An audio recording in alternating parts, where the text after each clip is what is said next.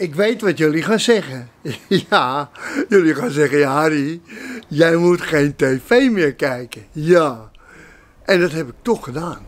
Ja, ik heb gekeken naar Café Kokkelman. Nou, vrienden, ik heb me zelden zo geërgerd aan een intens, slecht en slecht tv-programma. Ongelooflijk. Die, dit Café Kokkelman. Die, die, die, die, we hebben net de algemene beschouwingen gehad. Ja, en, en, en waar komen ze dan mee? Nou, nou, nou. Met, met, met, met, met een asielzoeker die een beetje. die het goed gedaan heeft. Een Mauro. En die, en die mocht dan maar ongegeneerd reclame maken voor zijn kledingmerk. Nou, dat ging maar door en het hield niet op.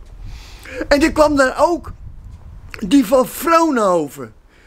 Ja, en, de, en die heeft gewoon bewezen dat ze niet loyaal is. Ja, met de coalitie. Die heeft het zwaar achter de ellebogen. En die is gewoon buitengewoon onbetrouwbaar gebleken. En dan gaat die kokkelman, die, die, die, laat, die laat haar gewoon wegkomen. Met, met niet zeggende antwoordjes. En een interview van helemaal niks.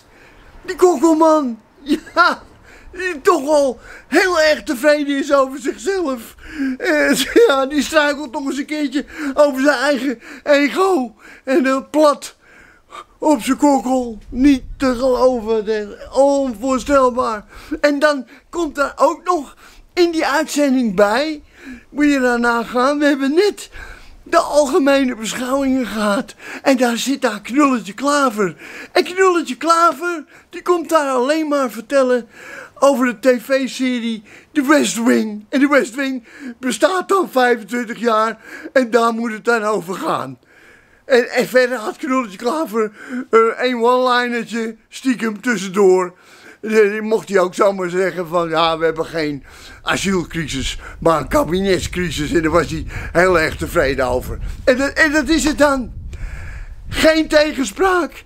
En, en, en, en dan wordt er verder ook alleen maar zogenaamd lollig gedaan in, in het programma. En, zogenaamd entertaining moet het zijn.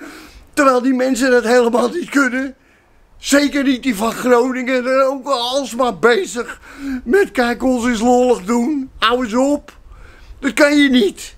Stel keurig vraagjes over politiek. En verder niks. En die kokkelman ook. Ah, het is... Ach, vrienden, het is toch niet te harde. En hoe kan dat nou? Bij die NPO, die laat dat ook allemaal maar passeren. En dat WNL, dat laat het ook allemaal maar gaan. En wij, wij willen gewoon na zo'n debat gewoon een serieus politiek programma. Punt. Niet meer. Geen flauwekul, geen ongein. Nee, dat willen wij. Godsamme nog aan toe. Ja, na een voetbalwedstrijd willen we ook niet dat er gelopen dollen daar uh, met die interviews. Nee, dan willen we gewoon spelers en trainers over de wedstrijd. Hoe hebben ze het beleefd?